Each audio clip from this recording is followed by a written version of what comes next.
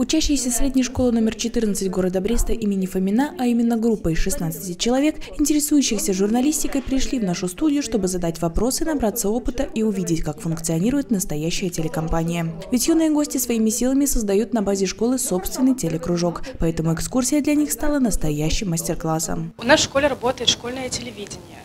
А, целью этого телевидения является объединение ребят с различными интересами а, в такой, можно сказать, творческий коллектив. Сегодня мы посетили телекомпанию Бук ТВ для того, чтобы ребята а, познакомились, как изнутри ведется работа, как создаются и снимаются телепередачи, в том числе новости. Целью э, нашего школьного телевидения, чтобы ребята сами э, выбирали для себя интересное направление, пока мы э, на старте, некоторые ребята выбирают культуру, кто-то спорт.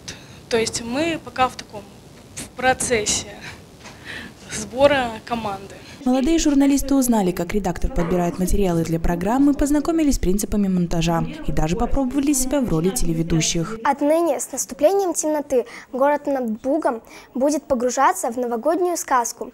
В Бресте вовсю засияла главная городская елка. Участие в подготовке приняли многие предприятия и организации. Среди участников предновогоднего действа артисты, многочисленные творческие коллективы, а каток с фигуристами. Это было просто потрясающе. Во время экскурсии юнкоры задавали множество вопросов, ответы на которые действительно пригодятся им на практике. Так ребята узнали об упражнениях для развития дикции, о том, как вести себя в кадре и как найти свой рабочий ракурс. Это интересная возможность развить себя, понять себя, э, попробовать себя в роли журналиста.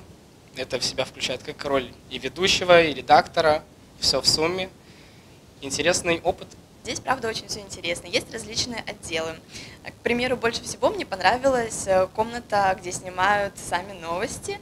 Э, эта комната, она необычная, нестандартная, и в ней чувствуешь себя по-другому, чувствуешь себя в другом мире. Опыт и знания, полученные ребятами на базе нашей телестудии, обязательно помогут им в реализации задуманного проекта. И кто знает, вполне возможно, что уже в скором времени учащиеся 14-й школы станут нашими полноправными коллегами. Василина Буцкевич, Эдуард Бакунович, Юрий Лимонтович. Новости Бреста.